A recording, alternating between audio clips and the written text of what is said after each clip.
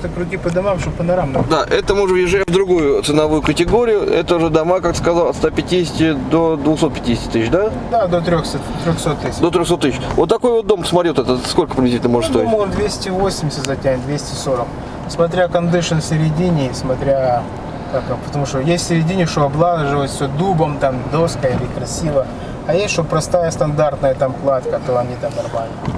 А вот такой вот сколько может стоить? Вот, Вот, такой он 180. Здесь вот. Он как слева, то он такой вот 200, а тот ниже уже за 140 можно взять. Потому что садник и все это. Хотя по объему в середине этот может быть даже и больше, и лучше. Просто от материалов дешевле.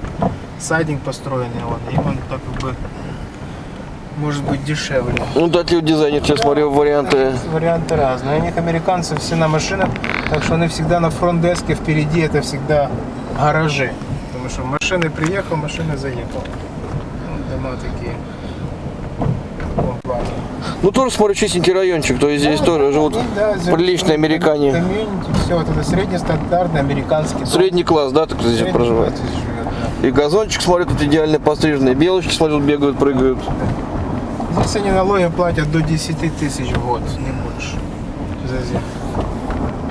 Вот продаются дома. Вот, вот он дом справа. А, вот надпись sold out. Вот этот дом не продался. Продавался, видимо, да. Кто-то купил все. И вот они живут в таких вот спальных районах.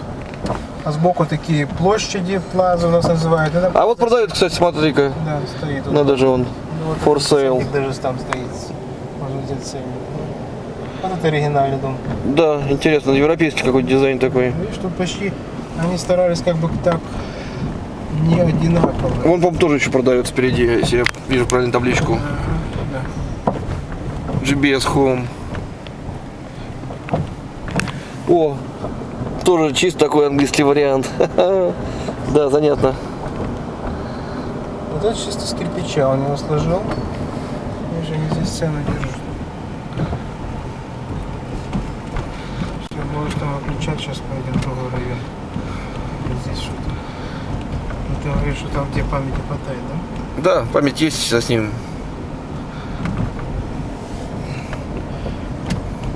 Но здесь спокойно, то есть тут, грубо говоря, никакого криминала вечером, то есть спокойно выходишь, гуляешь, детей можешь спокойно выпустить, никто никуда ничего, я думаю, что и машин тут патру- патрулируют снаружи э, этого. Полицейские ездят, двери в основном дома никто не закрывает. Я тут видел даже машины брошенные, открытые здесь они Да, бросают. вот он стоят, тут я уверен, что вот эти машины, у них вот этот одно и второе двери открыты, можно зайти и сесть в машину. Потому что не знаю, что тут чужой никто не зайдет. Ну и сейчас тут струя в Америке, они все ставят себе вот эти видеокамеры на компьютер, ставят, что у них, что во дворе делается, они все видят. И у них все записано, они за это не боятся. Приехала компания «Деревья», садят кустики. Был гараж территорию. Да.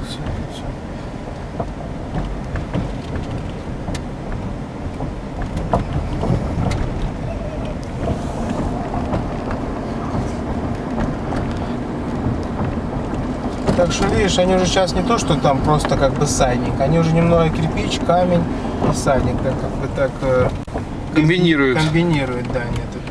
А вот те, которые с чистым сайдинга, тоже мы сейчас заедем в другой район. Там другая Вперед, смотрю, растут Да. елочки, практически как в России местность вообще. Очень красиво на Крисмас, на Рождество американское. Все украшают, все деревья, ставят надувных Дед Морозов, снегурочках, там вот эти, там, например, всякие там э, игрушки. Очень красиво. Все горит в огнях, и так целых две недели. Приезжают специальные компании, которые снимают видеофильмы, как кто как украшает. Кстати, устраивают соревнования, кто лучше украсит свой дом. И кто украсил лучше свой дом, там денежное вознаграждение. У них, правда, тут денежное вознаграждение может быть 500 долларов, а люди на покупают игрушек на украшения на 5000 долларов. Но это престиж, знаешь. American Dreams, American Drive Life, yeah, Drive Life. Возвращаемся. Думаю, мы здесь были, да? Ну что, в следующий район едем, да? Да.